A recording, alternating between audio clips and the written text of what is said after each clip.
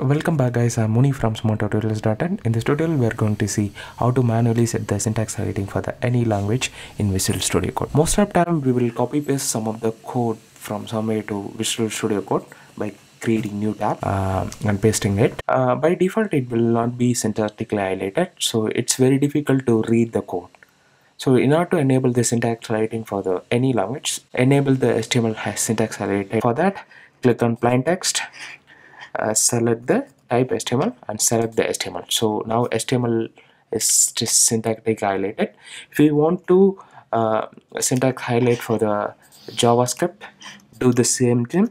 Uh, now I'm using uh, shortcut for in Mac it is Command K then press M um, then uh, select the JavaScript syntax highlighting for the PHP do the command K and M.